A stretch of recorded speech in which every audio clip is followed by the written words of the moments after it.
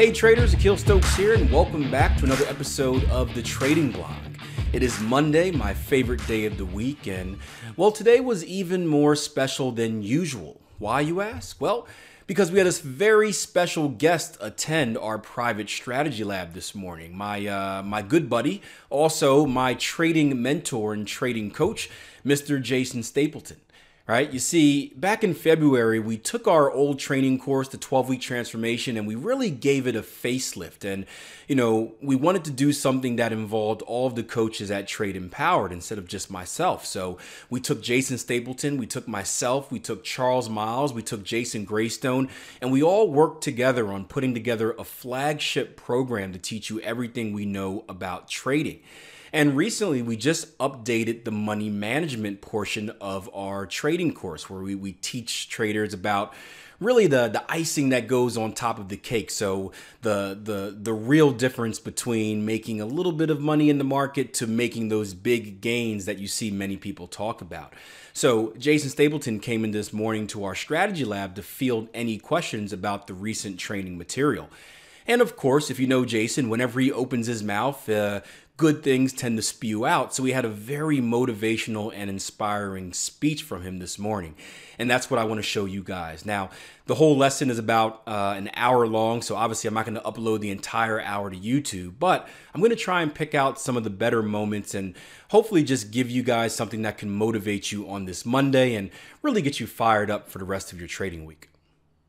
And I, uh, while you guys are thinking up your questions, uh, I will just say this. When it comes to, as I said in the beginning of the money management training, everybody likes this part because now we start talking about money and you start seeing how compounding works when, when you start applying really good money management of being able to increase your overall return while still maintaining a limited drawdown. That's something that uh, I, I remember when I was first learning how to trade, the, the the idea that somehow you could increase profits without increasing risk, which is really what we're talking about doing, was a, was a completely foreign concept to me. I would have told you that's not mathematically possible to do because as you add more position size, you are naturally going to increase your risk.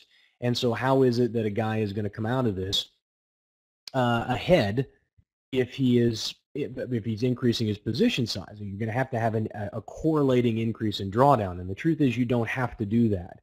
When we start talking about this stuff, it is everybody gets excited about it. And, and I will warn you that it is not going to work for you if you're not consistent. If you, if you can't make money without this, because remember, the first thing we talked about was positive expectancy. Positive expectancy is Uh, is the, the secret to making sure that you can you have a system that will produce profits. And you know, once you've got that, well, then it's just a matter of trading that consistently. Any additional money that you can make on top of that, any ways that we can improve it through money management is secondary to you guys having the discipline to trade day in and day out, regardless of the market conditions and what the market is throwing at you. So keep that in mind as you're going along um, because that is that's going to be the difference between your failure and your success long term. I just I just saw a post from a guy on Facebook. His name is Paul Salvinson. Uh, most people know him as Salvo. He is a, a five-time Grammy Award-winning, I think it was five the last time I checked, five-time Grammy Award-winning audio producer and uh, he, he mixes audio, uh, largely in the Christian music space, although he's done stuff all over the board. And he took the he took my course about three years ago, and he just posted something online. He's been working at it diligently, and his his his daughter went through some very traumatic. She had a brain hemorrhage, and so that uh, basically he had to take out like a year and a half to two years of not really focusing on training to trading to help his daughter uh, walk again and talk again. And, and she's made just a miraculous comeback. It's really incredible what she's been able to do. And he posted something online showing his performance. 200% return or something like that over the course of the last however many months he had he'd been doing it and he, and he just said I'm just so excited I've been working at this for such a long time and and it's such a great accomplishment over 1400 trades or something he's up like 200% and I, I tell that story because I want you guys to understand the commitment level that's really involved with this. You are going through a course that is designed to be three months long, but your training doesn't stop once the course is over. You're, you are not, you don't suddenly magically take care of all of your psychological and emotional problems as soon as the three months are up.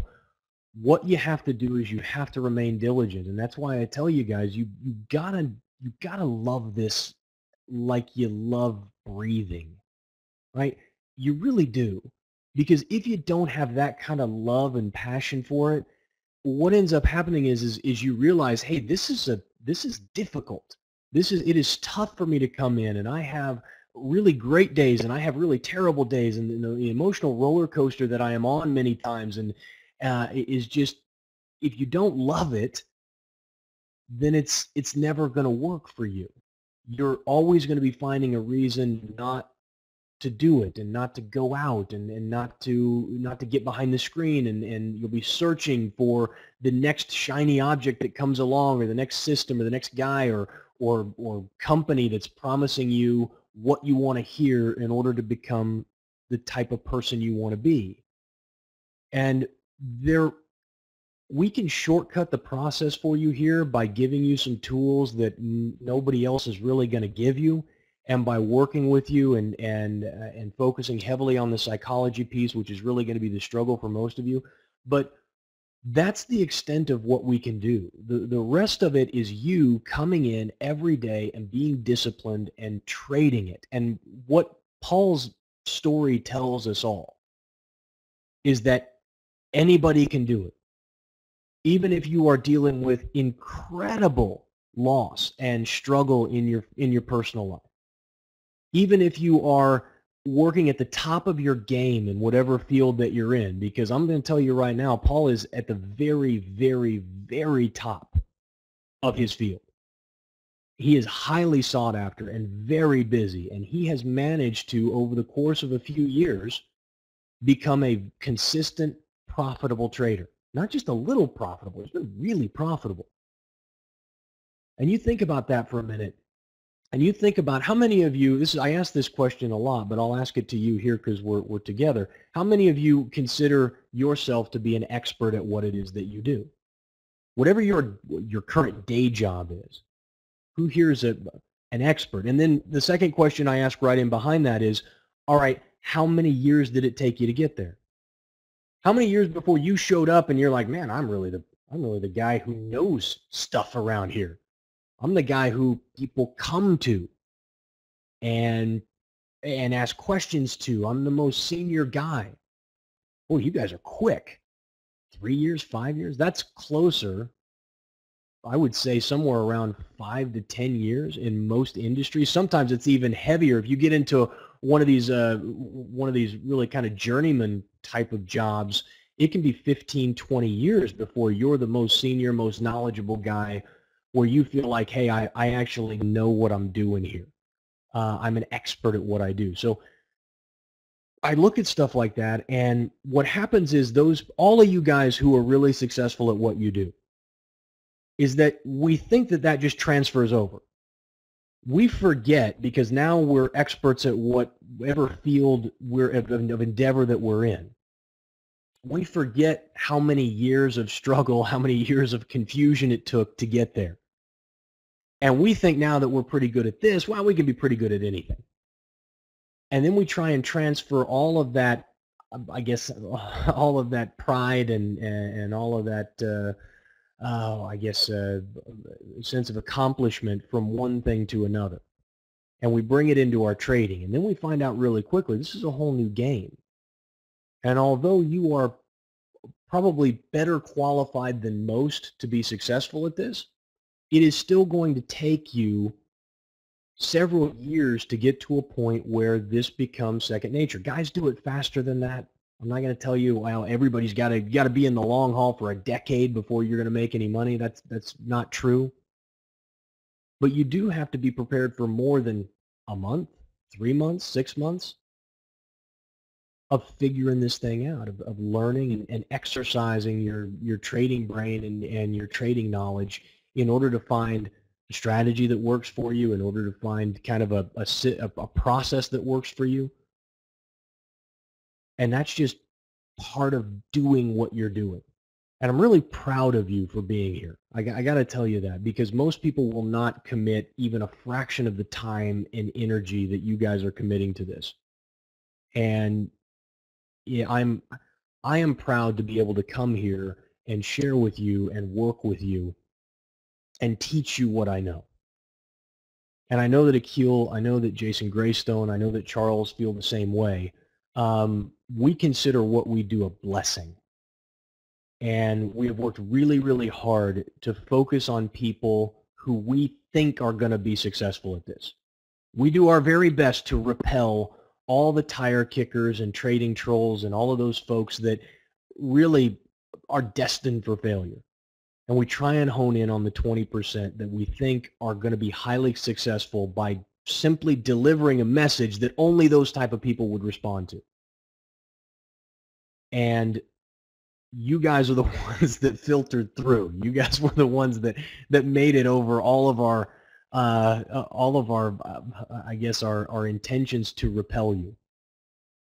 And now it's just time to get down to brass tacks. It's time for us to share information with you that you're not probably going to want to hear, but that you need to hear and you need to understand. And money management is this piece that comes at the very end. It's like the uh, my my I took my Mother's Day. We went out for Mother's Day. We went down to Fogo de Chao at uh, the Plaza here in Kansas City. If you've ever been down there, it's a beautiful old area of town. Fogo sits right on this uh, on this uh, peninsula corner, and right around the corner from that is a cupcake place. And my wife absolutely loves the cupcakes down there. And we went in and uh, ordered a bunch of cupcakes. I don't know I spent like four five hundred dollars for dinner that day to feed my whole family. We go around the corner and we end up polishing the meal off with some cupcakes. And my daughter gets this cupcake and she wants to sit outside because the weather is beautiful. So I take my my five-year-old daughter out and everybody else is inside, but she and I are sitting outside and I watch her start to devour this cupcake.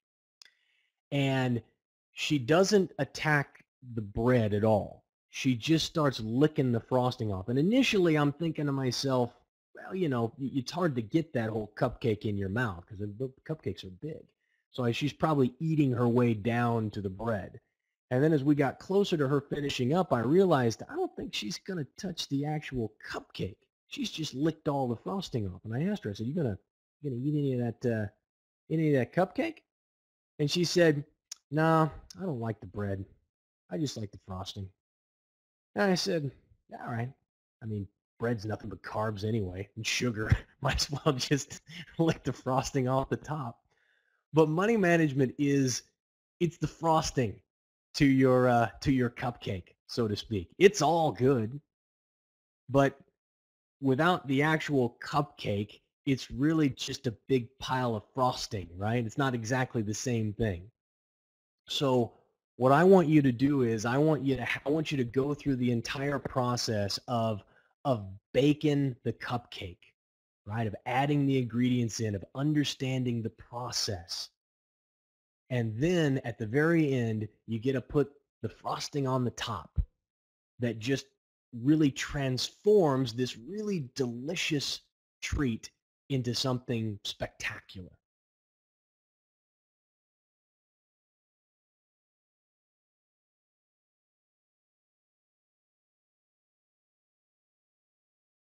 Alright traders, so I hope you enjoyed today's video and if you did, please show us by hitting that like button and subscribing by clicking the button right below. If you're looking for more educational content, feel free to head over to our tradeempowered.com website or also take a look and you'll see more videos available for you. Have a good one.